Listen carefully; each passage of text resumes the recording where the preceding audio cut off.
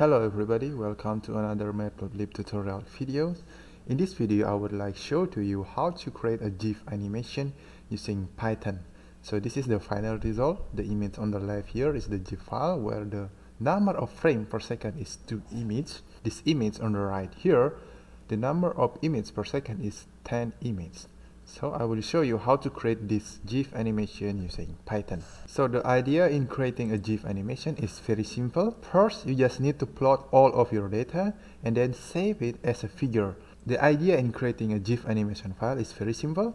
You just need to plot and then save of your data into a figure as shown here. This is the example of my data. I plot 100 data and then I save it as a figure here. Name it as figure 1 up to figure 100. And then we will use Python to combine all of these images into a single GIF file. Let me open my Jupyter Notebook and show you all of this process. So this is my Jupyter Notebook file. And the first cell here, I will import the libraries. There are several libraries here. I put a comment here to explain what the function of these libraries in this tutorial.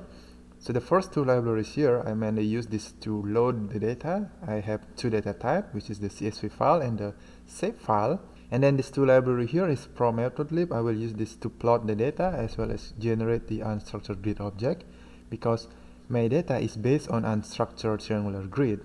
And then this two library here, MPL toolkits and NumPy. I need this library to create a color bar in the figure. And finally, our last library here, the image IO. We will use this image IO to create the GIF animation. Okay, let us import the libraries first. I will import my dataset. You can use any dataset that you have. The concept is same for all data. This dataset here is the same as in my other Matplotlib tutorial video. I have the triangular unstructured grid, seawater surface elevation data every one hour, which is I got it from FVCOM numerical model simulation. And the last data is a shape file, which is represent an islands where I simulate this seawater surface elevation. Okay, let us import the dataset. Now I will check the my water elevation data. As you can see here, I have 100 water surface elevation data. To create an animation, I need to plot all of this data and save it as an image file.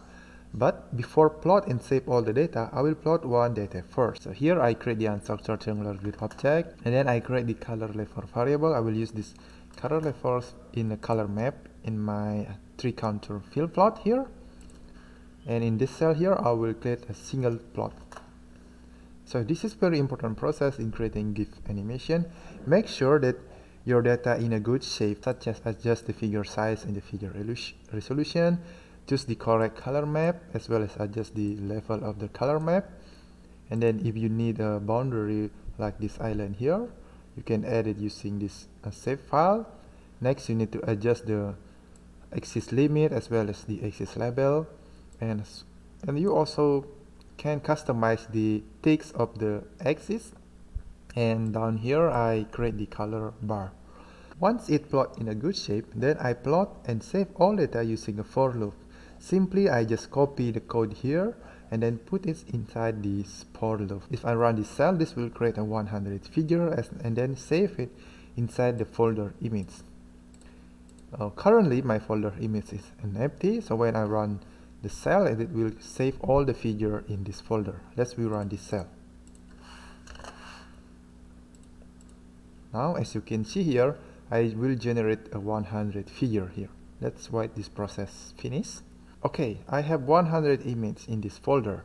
So now we will use the image IO Python library to read all of these images and then append it as a GIF animation file. So in this cell, beside plot and save a figure, I also save its figure name as a list. Here I have the file names variables. This file names variable is a placeholder for figure file name. So here in the code here, the file names that I append, I append all of this figure file name. So why do I create this uh, file names variable? Because uh, down here, we will use that file name to load the image. So we don't need use extra libraries such as glob or OS to get the list of the file name. So if you check the file name variable here, this is contain a hundreds uh, list of the file names. So next, in this cell here, we create the animation using the image io.get writer. This function takes two inputs. The first input is a file name. This will be the name of my animation file. The second input is FPS, which is stand for frame per second. Here I set frame per second as 2 and the name of the GIF animation is myAnimation.gif. In this for loop here, I read all the image file and then append them all and save it as a GIF animation file. Let us run the cell and see the result. Okay, it's done. Let's check the GIF animation file. Alright, so this is my GIF animation file with the FPS equal to 2 frames per second and if you think this is too slow we can increase the FPS let's we change that now. Now I will save it as my animation 2 and then the FPS I will change to 10 let's rerun this cell now. Alright it's done. Okay let's be see. Alright so this is the animation where the FPS is equal to 10 alright so this is the final result here. On the right here the animation with 2 fps and the left here the fps is equal to 10 so that's all the process in creating GIF animation in Python. And that's all the process in creating GIF animation using Python. That's all from this tutorial video. I hope you learned something useful from this video. If you want to download this Jupyter notebook file, I have this file in my GitHub repository. The link is available in the video description. You can download it for free. Thank you for watching and see you in the next tutorial video.